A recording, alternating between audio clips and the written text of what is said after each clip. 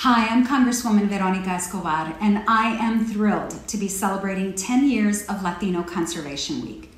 The nature gap is still prevalent in communities around the country, with people of color being three times more likely to live in nature deprived areas. The Biden administration has worked to meet this challenge head on with goals like the America the Beautiful initiative, which commits to preserving 30% of our nation's lands and waters by 2030 prioritizing underserved communities, and ensuring access to the shared heritage of public lands. The President's commitment was evidenced earlier this year when, after five decades of steadfast work, Castner Range in my hometown of El Paso, Texas, was designated a national monument.